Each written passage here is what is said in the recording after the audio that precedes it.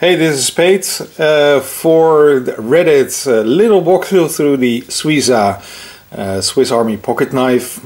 Um, it's a really nice knife. I've got uh, two of them. One is uh, this red one and I also got a black one. It's got a nice texture to it. It's got a locking blade.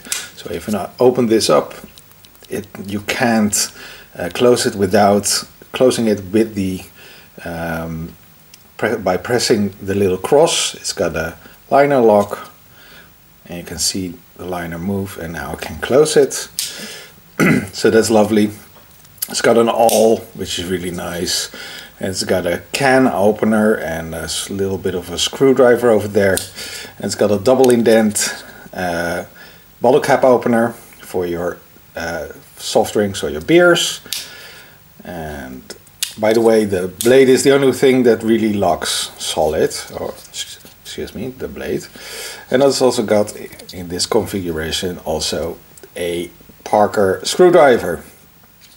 Other conf configurations have, for example, a corkscrew or less tools than this. This is kind of like the maximum amount of tools you can get in this particular design.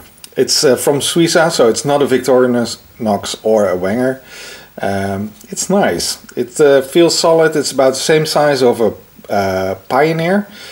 Um, and um, yeah, I actually like it. I think it's a really nice uh, EDC kind of knife or just uh, to get around. Oh, by the way, the uh, blade steel, it's I think it's 440. Um, it doesn't come sharp, as sharp as I'd like them to go, but uh, I got my sharpener ready and uh, I'll be uh, sharpening it to a hair popping sharpness. Alright, that's it. I'm paid for Reddit.